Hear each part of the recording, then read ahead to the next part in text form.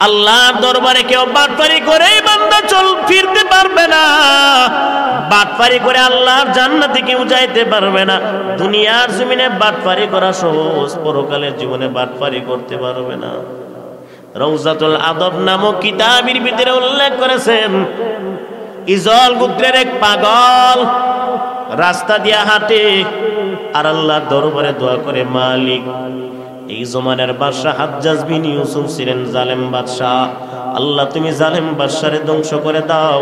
এই বর্তমান এমপি মন্ত্রীদেরকে তুমি ধ্বংস করে দাও। আর আগের যুগের যে এমপি মন্ত্রী আর বাদশাহ ছিল, আল্লাহ, তুমি তাদেরকে আল্লাহ বেহেস নসিব করে দাও।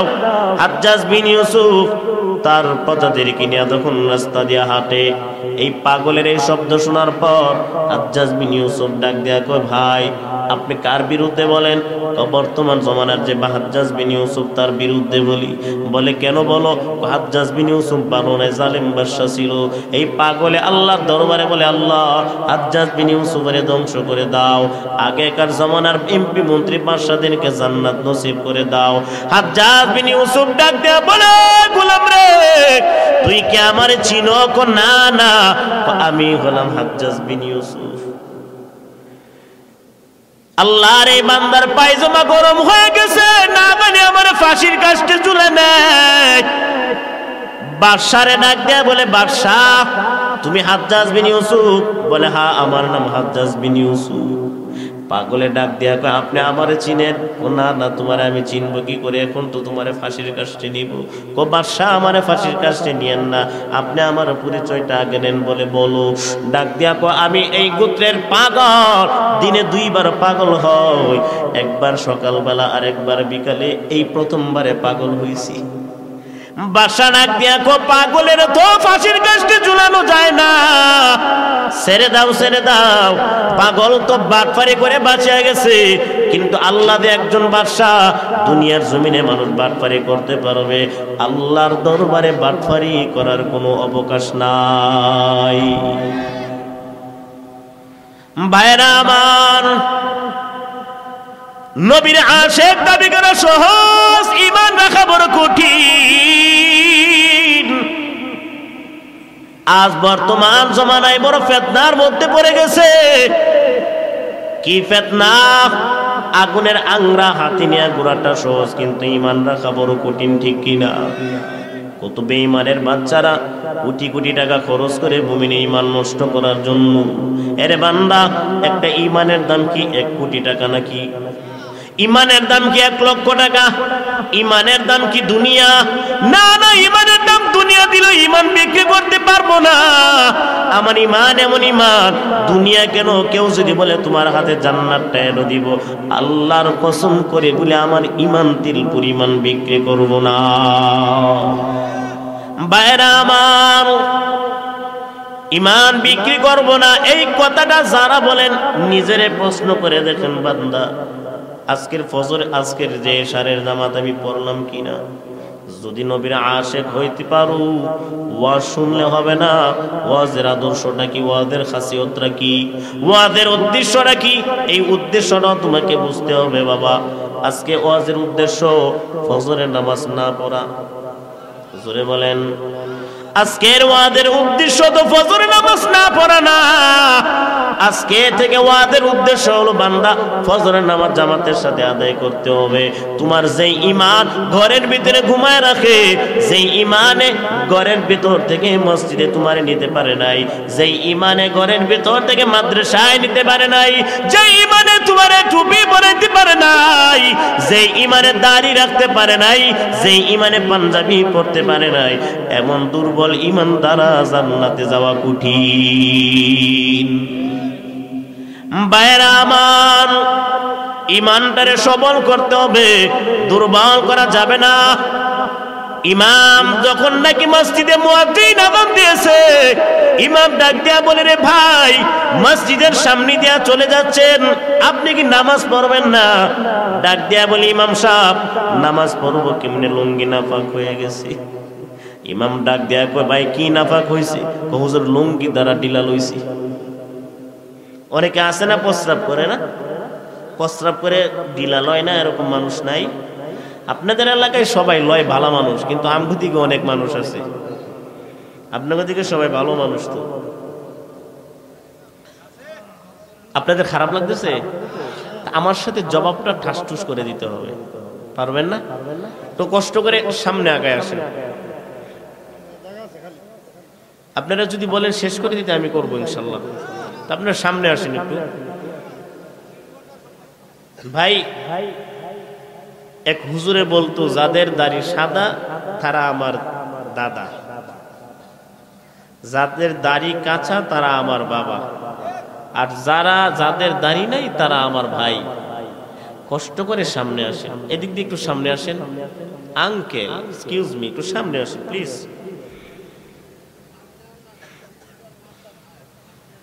আপনাদের সরাইল থানার মানুষ সবাই ভালো টেরা মানুষ নাই। সবাই ভালো আছে, আলহামদুলিল্লাহ। এ ভাই, আপনারা একটু সামনে আগে আসেন গার টেরা করবেন না গারগুলো ভালো করে রাখেন। একটু সামনে আসেন।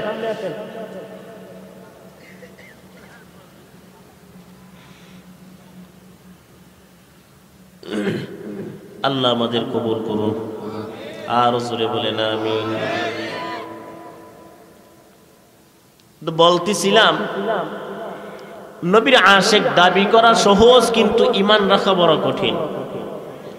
আপনি আশেক দাবি করতে পারবেন, মুখে মুখে তো বলতে পারবেন, আমেরিকার বাদশার মেয়ের বিয়ে করতে পারব। ঠিক কিনা? বলা যায়, কিন্তু করাটা কঠিন। কথা ঠিক কিনা? ভাইয়েরা আমার, কত মানুষ আছে, ইমাম সাহেব ডাক দেয়া কয়, ভাই, নামাজ পড়েন না কেন? ডাক দেয়া কয়, ইমাম সাহেব, আমার তো লুঙ্গি নাফাক হয়ে গেছে। বলে কি না কি হয়ে গেছে? ডাক দেয়া বলে, হুজুর, সন্তানের কুলু নিছে সন্তান প্রস্রাব করে দিছে। কত বড় বেহায়া। ওই নাপাক লুঙ্গিরা নিয়ে রাস্তাঘাটে কোনো ঘুরে আসে না নাই? আর হুজুরে বলেন, কি দুঃখ! নাপাক লুঙ্গি নিয়ে রাস্তায় দৌড়াও। আর ওই দিক দিয়ে মুয়াজ্জিন আল্লাহ দিকে ডাকে, আয় আয় তাড়াতাড়ি মসজিদের দিকে আয়, নামাজ পড়তে হবে। যার ইমানটা দুর্বল, মসজিদের দিকে কোনোদিন যাবে না। যার ইমানটা সবল, আল্লাহর জন্য ইমানটা রে বান্দা, আল্লাহর জন্য দিতে পারে, জানটা দিতে পারে। ওই ব্যক্তির জীবন যাবে, কোনোদিন এক ওয়াক্ত নামাজ বান্দা ছুটবে না। ইয়া আইয়ুহাল্লাযীনা আমানু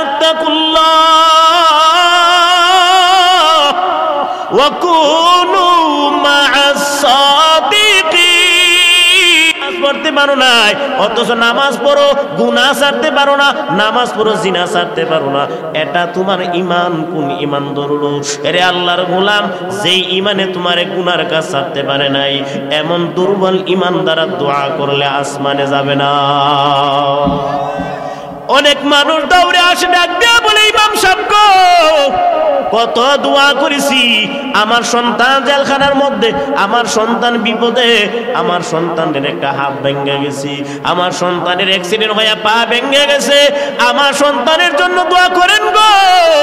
ইমাম দোয়া করতেছে, দোয়া কবুল হয় না। সর্বশেষে খবর নিয়ে তাকায় থেকে বান্দা সুদ খায়, ঘুষ খায়। এই সুদ ঘুষের বিরুদ্ধে বান্দা, ইমাম যদি বয়ান দেয়, ইমামের সুদের বিরুদ্ধে বয়ান দেয়, মসজিদের সেক্রেটারি তিন দিনের আলটিমেটাম দেয়। কথা বলেন না কেন? ইমাম সাহেব জিনার বিরুদ্ধে বয়ান দেয়, ইমাম সাহেব ঘুষের বিরুদ্ধে বয়ান দিতেছে। আর মসজিদের সভাপতি তিন দিনের আলটিমেটাম দেয়, তাড়াতাড়ি খেতা বালিশ রেডি করে নেন বলে কি বলে না? বান্দা, তুমি ইমামের চাকরি খাইয়া খুব মনে নিজের বড় মনে করলা। না না, ইমামের চাকরি যায় নাই। ইমামের রিজিক জায়গায় এই জায়গায় আছে, সেই জায়গায় যাবে ঠিক কিনা? কিন্তু তুমি যে ইমামের রিজিকের মধ্যে আঘাত দিছো, শুধু ইমামের বুকের মধ্যে লাথি মারো নাই। ইমামের মার বুকে লাথি মারছো, ইমামের ভাইয়ের বুকে লাথি মারলা, ইমামের সন্তানের বুকে লাথি মারলা, ইমামের বিবির বুকে লাথি মারলা, ইমামের বাবের বাবার বুকের মধ্যে লাথি মারছো। মনে রাখতে হবে একজন মানুষের রিজিকে যদি তুমি আঘাত করো, আল্লাহর কসম করে বলি, তুমিও রাস্তার বিকারি হয়ে ঘুরবা। তুমি কি চিন্তা করেছ? ইমামের জবানকে আল্লাহর কোরআন বের হইতেছে। মাদ্রাসার শিক্ষকের জবান দিয়ে আল্লাহর জিকির বের হয়, নবীর হাদিস বের হয়, আল্লাহর জিকির বের হয়। সিনার মধ্যে তিরিশ পারা কোরআন, সিনার মধ্যে সুরাতুল ফাতেহা, সিনার মধ্যে সুরাতুল ইখলাস, সিনার মধ্যে সুরাতুল বাকারা, সিনার মধ্যে সুরাতুল হুদুদ। রে আল্লাহর গোলাম, কত সুরা ইমামের সিনার মধ্যে আল্লাহ দান করেছেন। এমন ইমামের বিরুদ্ধে যাওয়া মানে হলো কোরআনের বিরুদ্ধে যাওয়া। কথা বলেন না কেন? অনুরোধ করে বলিয়া যাই গো এলাকার মুসলমান ভাই গো। ইমামদের সঙ্গে সম্পর্ক লাগাইবা, ইমামের বিরুদ্ধে যাইবা না। এর বান্দা, নেতার পিছনে গুইরা, হুজুরদের বিরুদ্ধে কথা বলো। নেতার পিছনে দইরা, কোরআনের বিরুদ্ধে কথা বলো। নেতার পিছনে দইরা, হাদিসের বিরুদ্ধে বলতেছো। এরে নবীর উম্মত, একটা করোনা ভাইরাস আমার আল্লাহ দুনিয়ার মধ্যে দান করেছেন। যেই করোনা ভাইরাসে তামাম দুনিয়াটা আমার আল্লাহ লকডাউন করে দিয়েছে ঠিক কিনা? ওই করোনা ভাইরাসের সময় তোমার বাবার লাশটা যখন করোনায় বিদায় হয়ে গেছে, ওই লাশটা ধরার জন্য তোমার মা যায় নাই, লাশটা ধরার জন্য সন্তান যায় নাই, লাশটা ধরার জন্য তুমি নিজেও যাও নাই, লাশটা ধরার জন্য তোমার আশপুরুষি কেউ যায় নাই, ওই লাশটা কি জানাতে দেওয়ার জন্য? একদল আলেম বের হইয়া তোমার বাবারে গোসল দিয়া, তোমার বাবারে কাফন পরাইয়া জানাদার নামাজ পড়াইয়া কবরে আদর্শ আগ দিয়া দিয়া আসছি তখন তোমার নেতা কোথায় ছিল রে বাবা? কথা বলেন না কেন? নেতাই তো খেতা হয়ে গেছে। অনুরোধ করে বলিয়া দেয় কোনোদিন বান্দা কোরআনের বিরুদ্ধে যাইবা না, মাহফিলের বিরুদ্ধে যাইবা না, আলেমদের বিরুদ্ধে যাইবা না, মাদ্রাসার বিরুদ্ধে যাইবা না। এরে নবীর উম্মত, সিনাটারে আল্লাহর জন্য জীবনটা দিয়ে দাও, মাথাটারে নত করে দাও, আল্লাহ। তুমি সারা জমিনে আমার আপন কেউ নাই। দুনিয়ার জমিনে যা দেখতেছি, সব আমার দুশ্মন, সব আমার দুশ্মন। একমাত্র আপন হলেন আমার আল্লাহ, আর নবী ঠিক কিনা? দুনিয়াতে যাদেরকে আপন বলতেছো, সব আমার আপন না, সবাই হলো আমার দুশ্মন। টাকার পিছনে দইরা যে আমার আল্লাহর দিন থেকে দূরে যাইতেছো তুমি কি চিন্তা করছ? ওই টাকায় তোমার শান্তি দিবে? না না। টাকা দ্বারা দুনিয়ার এমপিরে ঘুষ দিতে পারবা, টাকা দ্বারা উকিলের ঘুষ দিতে পারবা, টাকা দ্বারা চেয়ারম্যানের ঘুষ দিতে পারবা, কিন্তু আজরাইলের দুনিয়া দিলেও আজরাইল পিসপা হবে না। কি দুঃখ কি দুঃখ গো? আজ আমল নাই, মাথার মধ্যে টুপি নাই, গায়ের মধ্যে পাঞ্জাবি নাই, তুতার মধ্যে দাড়ি নাই। কেন রে যুবক, তোমাদের দাম যে আমার আল্লাহর দরবারে কত? তোমরা কি জানো? এরে যুবক ভাই, কয়েকদিন আগে ছয় তারিখে কুমিল্লা বরুণা প্রোগ্রামে গেলাম। কসবা যাওয়ার আগে তাকায় দেখি কুমিল্লা এক্সপ্রেস গাড়ি উল্টায় গেছে। কত লাশ আর লাশ যে হাসপাতালে নিয়ে গেছে। আমি নিজে অত ড্রাইভারকে গাড়ির ভিতর থেকে টেনে এসে বের করলাম। পুরা গাড়ি বুকের উপর পড়ল, হাড়গুলো ভাঙ্গে একবারে সেই গেছে বুড়ি। এরে আল্লাহর গোলাম, কই দিন যা বাঁচবা? বাহাদুরি বেশি দিন থাকে না। ক্ষমতার বাহাদুরি করবা না, টাকার অহংকারী করবা না, শক্তির গরম দেখাইবা না। আমার আল্লাহ যদি তোমার মাথা ব্যথা দিয়া দেয়, বিছানার সঙ্গে পিঠ লেগে দেয়। কথা বলেন না কেন? হাত বেতা আর পা বেটা যদি আমার আল্লাহ তোমাকে দেই গো, তখন ইমামের দরবারে দূর দাও। ইমাম সাহেব, আপনার বিরুদ্ধে কত কথা বললাম। আজকে আমার সন্তান বিপদে, আজকে আমার বিবি বিপদে, আমার সন্তানের জন্য দোয়া করে দেন। ইমাম আল্লাহর দরবারে দোয়া করছে, আমার আল্লাহ পাক তোমার সন্তানের ভালো করে দিছে। কথা বলেন না কেন? ওয়া ইদা মাসাল كانت در دعاء دعانا لجنبه أو قاعدا أو قائما فلما كشفنا عنه ضره مر كأن لم يدعنا إلى ضر مسا كذلك زين للمسرفين ما ما كانوا يعملون.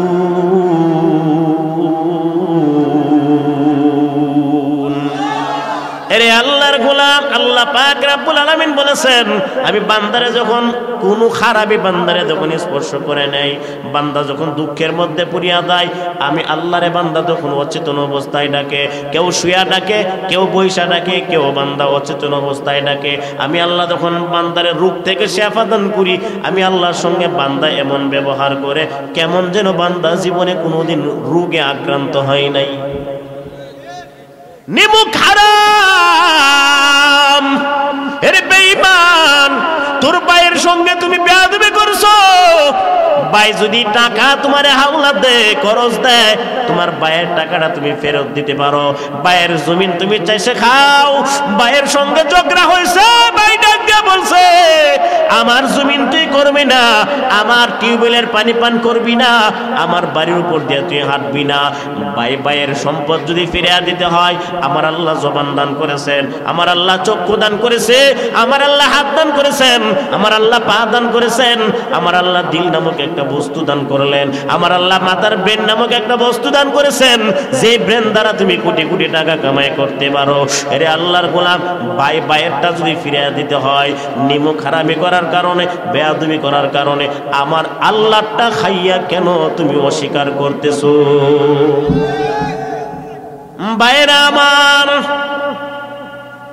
আল্লাহর নিয়ামতের শুকুর আদায় করবা। এই চোখ আমার আল্লাহর নিয়ামত, মুখ আমার আল্লাহর নিয়ামত। আল্লাহ বলেন, আমি তোরে মুখ দিলাম। মুখ দ্বারা বান্দা জিকির করবে, ইবাদত করবে, আল্লাহরে ডাকবি। এই মুখ দ্বারা যদি গালি দাও, এই মুখ দ্বারা যদি গান গাও, আমি আল্লাহর নিয়ামতের অস্বীকার করা হবে।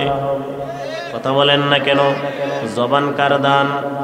আর ওজরে বলেন। জবান যে আমি আল্লাহ তোদেরকে দান করেছি, জবানে শুকুর আদায় কর।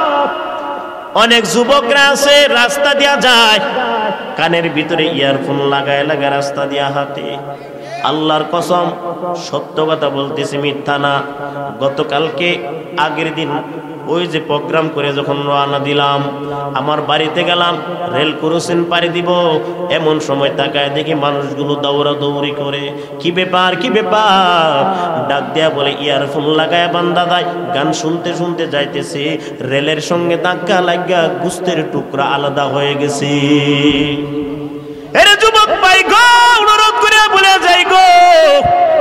মোবাইলের মধ্যে বান্দা গান শুনতেছো। আজকে বর্তমানে ঘরের ভিতরে টিভি নাই। টিভিটা খুব কম। আগের জমানায় মানুষ এক বাড়ি থেকে আরেক বাড়ি থেকে টিভি দেখতো। কথা বলেন না কেন? আমি এক জায়গায় বয়ান করেছিলাম, ভাই, আপনার ঘরে যদি টিভি না থাকে, আপনি তাড়াতাড়ি টিভি আনেন। ডাক দেয়া বলে, ভাই দান অনেক মানুষ টিভির বিরুদ্ধে বয়ান করে। আপনি আমার ঘরে টিভি আনতেন? বললেন, কেন? আমি ডাক দেয়া বললাম, আপনার মেয়ে আর ছেলে আরেক ঘরের বাড়িতে গিয়া তুই টিভি দেখি, এর চাইতে ভালো হাতের গুণা, পায়ের গুণাটা না হইলে না হইলে কত ভালো হয়। আরেক বাড়িতে হাইটা হাইটা যাবে, জমিনটা সাক্ষ্য হবে, মাটিটা সাক্ষ্য হবে, সাক্ষ্য যাতে না হয় তোমার ঘরের ভিতরে তুমি টিভি আইনা দেখার জন্য। কত মানুষ ইমামের দরবারে গিয়ে হাজির হয়ে গেছে। ইমাম সাহেব, আমার সন্তানের জন্য দোয়া করেন। কি ব্যাপার, তোমার সন্তানের কি হয়েছে? ডাক দেয়া বলে, আমার সন্তান যে রাত দুইটার সময় হিজরত করে বাইকা গেছে। আপনার সন্তানে ভাগছে কেন? মোবাইল দিছেন। হুজুর একটা না দুইটা মোবাইল দিছি। ও কি করছে ও ফেসবুকে প্রেম করতে করতে ছেলের সঙ্গে বাইগা গেছি। এরে বুড়ার দল, তাড়াতাড়ি তোর ঘরের ভিতরে টিভিটাও নষ্ট করে ফেল। নতুবা তোর বিবিও একদিন তোরে তুইয়া বাইগা যাবে। কথা বলেন না কেন? সন্তান লেখাপড়া করে না। সকাল হয়ে গেছে, স্কুলে যাই না। বাবাই ডাক দেয়া বলে, বাবা, তুই লেখাপড়া করবি? সন্তান বলে, না না, আমার বন্ধুর মোবাইল আছে, আমার বন্ধুর বাবা মোবাইল কিনে দিছে। তুমি তো আমার মোবাইল দাও নাই।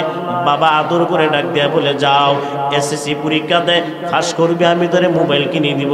সন্তানরা যখন মোবাইল দিছে, এসএসসি পরীক্ষা দিয়া বাবারে ডাক দেয়া বলে, মা, তাড়াতাড়ি আমারে মোবাইল দাও। আব্বা না বলছে, আমারে মোবাইল দেওয়ার জন্য অপেক্ষা করো। ঢাকা থেকে আসতেছে সন্তানের দিয়া কয়, না মোবাইলটা নিয়ে গেছে। এই মোবাইলটার মধ্যে বাবা কত খারাপ জিনিস যে দেখতেছি। সন্তানরা এক সময়, এই সন্তানরা মোবাইল টিপতে টিপতে প্রেম আবদ্ধ হয়ে গেছে। বিবাহের সময় বাবারও বান্দা জানায় না। কথা বলেন না কেন? কই প্রোগ্রামে গেলাম, গোপালগঞ্জ, টঙ্গিপাড়া প্রোগ্রামে গেলাম। ওখানে যাওয়ার পর শেখ মুজিবুরের সমাধস্থল দেখার জন্য গেলাম। পুকুর পারে দাঁড়াইয়া গুসল দিব, উজু করে নামাজ পড়ব, জুহরের নামাজ। পুলিশ ভাইয়ের সামনে হেঁটে যায়। আমি দেখাই দিলাম, পুলিশ ভাই তাকায় দেখেন, ওই যে প্রাইভেটের ছুটি নিয়ে মার কাছ থেকে বিদায় নিয়ে বিদ্যার ব্যাগটা হাঁটুতে ঝুলাই আসছে। আর প্রেম বন্ধনে আবদ্ধ হইয়া দুজনে একসাথে বসে আইসক্রিম খায়। প্রেমিক এক পাশ দিয়া কামড় দেয়, প্রেমিকা আর এক পাশ দিয়া কামড় দেয়। আউজুবিল্লা বুঝা কইন। আছে না নাই? দুই হাজার আঠারো সালে তো পার্কের ভিতরে আঠারোটারে বিয়া দিছে। পুলিশ বাইরে আঠারো জন রে আঠারো সালে আঠারোটারে বিয়া দিছে একসাথে। এরা বলে, কয়, ভালোবাসার দিবসে না কতই মজা? কি মজা? বুড়া মতো ভালোবাসার দিবসে ফুল নেওয়া দেয় জোয়ানের ডাক দিয়া কই ম্যাডাম আই লাভ ইউ। আজকে বললা ফিরি কালকা বললে জুতার বাড়ি। ভালোবাসার দিবসে যত ভালোবাসা দিতে পারবে। বাদ দাও, সব বাদ দিয়া দাও, এগুলোর মধ্যে শান্তি নাই। একমাত্র শান্তি হলো নবীর আদর্শের মধ্যে।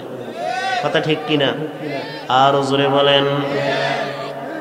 হাকিকত সে তু দুনিয়া বেখবর হ্যাঁ दुनिया की नुमाइश पर नजर है नमी गुयम के आज दुनिया जुदा बगश बगर कार के बशी बाखुदा बश चिस्ते दुनिया आज खुदा गाफिल बुदन निकम শুনক্রহু ফরজিন্দুজার খারাপ লাগতেছে এরে আল্লাহর গোলাম, একটা উদাহরণ দেয়া বান্দা আমি শেষ করে দিব। মাদ্রাসার মধ্যে কালী কালিউবি নামে একটা কিতাব আছে, কিতাব। বর্তমানে কালী কালিউবি নামক কিতাবটারে উঠাইয়া দিছে, কেউ পড়ায় না। মাদ্রাসার নেশাব থেকে উঠে গেছে। ওই কিতাবের ভিতরে বোঝার জন্য একটা ঘটনা উল্লেখ করেছেন। একটা কঙ্কাল গোলাম, ওই গোলামটারে নিয়ে গেল, বাজারে দিকে নিয়ে গেল। আরেক কোটিপতি বান্দা গোলাম ক্রয় করার জন্য বাজারে যায়। বাজারে গিয়া তাকায় দেখে কঙ্কাল একটা গোলাম দেখা যায়। একবারে চিকনা, ওই চিকনা গোলামটা কি যেন পড়তেছে? ঠোঁট নাড়ায়। ধনী ব্যক্তি ডাক দিয়া বলে, ভাই, আপনার গোলামটারে বিক্রি করবেন ডাক দিয়া বলে হ্যাঁ কিনবো। অল্প দামে কালো গোলামটারে বিক্রি করে দেয়। এই মালিক কেনার পর গোলামটারে ডাক দিয়া বলে, গোলাম, তুমি জবান নারায় নারায় কি পড়তেছো? গোলামটা ডাক দিয়া বলে, ভাই, আমি গান গাই না, আমি আমার আল্লাহর জিকির করতেছি। অনেক যুবক আছে, আল্লাহর গান গায় না। সবাই তো খালি গান গাওয়ার পাগল। কালা গল্লার মালা, লাল কুর্তাওয়ালা, মনে বড় জ্বালা রে, পাঞ্জাবিওয়ালা, গায় না না। অনেক যুবকরা আছে, ইসলামিক জলসার পাগল না, সঙ্গীতের পাগল না, খালি লুব্বানের গান নিয়ে পাগল হয়ে দৌড়ায় আসে নাই। আল্লাহ পাক রাব্বুল আলামিন মুসলিম শরীফের মধ্যে আল্লাহ নবী বলেছেন, শয়তান আল্লাহর কাছে চ্যালেঞ্জ করে যখন আসলেন, আল্লাহর দরবারে বলেছেন, আল্লাহ, দুনিয়ার মানুষ কোরআন পড়বে, দুনিয়ার মানুষ আপনার কালাম পড়বে, আমার তো কোনো কালাম নাই, আপনি আমার একটা কালাম দেন, যে কালামটা পড়লে আপনি খুশি হবেন। আল্লাহ ডাক দেয়া বলে, যাও, তোমার জন্য আমি একটা কালাম দিয়া দিলাম, কোরআন দিয়া দিলাম। ওই কোরআনটা হলো যুবকদের জবানের গান। যেই যুবক গান গাইবে আজকে থেকে মনে করবা, এরা শয়তানের বড় ভাই। কথা বলেন না কেন? যে যুবকের জবানে আল্লাহর জিকির চলবে না ইসলামিক গান চলবে না, যদি নোংরা গান জবানে চলে, মনে করব এটা শয়তানের কোরআন পড়তেছে। কথা বলেন না কেন? এরে আল্লাহর গোলাম ও যুবক ভাইয়েরা, গুনাহ করবা না, গুনাহ করবা না। মাওলার জিকির করো, ইবাদত করো। আল্লাহর আরশের সাত ব্যক্তির মধ্যে এক ব্যক্তি থাকবা তোমরা ঠিক কিনা? ভাইয়েরা আমার, মালিক ডাক বলে, গোলাম, কি ব্যাপার? জবান নারা নারা কি পড়তেছো? গোলামটা ডাক দিয়া বলে, মালিক, আমি আমার মাওলার জিকির করতেছি, জিকির। গোলামটারে বাড়িতে নিয়ে গেছে। বিবিরে ডাক দিয়া বলে, পেট ভরে খানা খাওয়াও। গোলামটা খানা খাওয়ার পর ডাক দিয়া বলে, মালিক, আপনি কেন আমারে কিনলেন? মালিকে ডাক দিয়া বলে, কিনছি, আমি তোমার দ্বারা ফায়দা উপার্জন, ফায়দা নেব।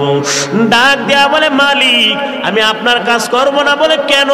যতক্ষণ পর্যন্ত আমার তিনটা শর্ত আপনি মেনে না নেবেন। কি তিনটা শর্ত?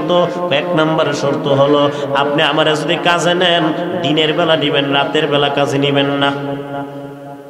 দুই নাম্বার শর্ত, আপনি যদি আমার কাজে নিয়োজিত রাখেন নামাজের সময় আমার বাধা দিতে পারবেন না। সময় হলে আমি নামাজ পড়ব সুবাহান আল্লাহ তিন নাম্বার শর্ত, এমন একটা ঘর আপনি আমারে দান করবেন। যেই ঘরের ভিতরে আমি গোলাম ছাড়া কেউ থাকতে পারে না। মালিক ডাক দিয়া বলে, ঠিক আছে, তোমার দুইটা শর্ত আমি অবিলম্বে মেনে নিলাম। আর তিন নাম্বার শর্ত মানার জন্য আমার এখানে হাজারো উপরে ঘর আছে। তুমি ঘরগুলো দেখো, কোন ঘরটা তোমার পছন্দ হয়ে দেয় গোলাম দর মারছে মালিকের ঘর দেখতে আরম্ভ করেছে। ঘর দেখতেছে দেখতেছে, হঠাৎ করে তাকায় দেখে একবারে কর্নারের মধ্যে একটা জীর্ণ শীর্ণ ঘর দেখা যায়, অনাবাদ ঘর যেই ঘরটা রূপু দিয়ে আছে, কোন দিন জানি সেজদা দিয়া মাটির সঙ্গে মিশিয়া যায়। ওই গুলাম এই ঘরটা ডাক দিয়া বলেন, ঘরের কাছে গিয়া বলে, মালিক, এই ঘরটা আমার দেন। আমি গোলাম হইয়া এই অনাবাদ ঘরটার ভিতরে থাকব। মালিক ডাক দিয়া বলে, গোলাম, আমার না অন্য আরও অন্য অন্য বড় সুন্দর সুন্দর ঘর আছে। সেই ঘরগুলো পছন্দ কেন করো নাই? এই জীর্ণ, শীর্ণ ঘরটারে কেন পছন্দ করলা? মালিকের কথায় গোলামটা ডাক দিয়া বলে, মালিক, আপনি কি জানেন না যে ঘর অনাবাদ থাকে? ওই ঘরের ভিতরে যদি কেউ মাওলার ইবাদত করে, মাওলার জিকির করে, আমার আল্লাহ এই ঘরটারে আবাদে পরিণত করে দেন। আর জোরে বলেন না সুবহান আল্লাহ আল্লাহ আল্লাহ মুমিনারা কাম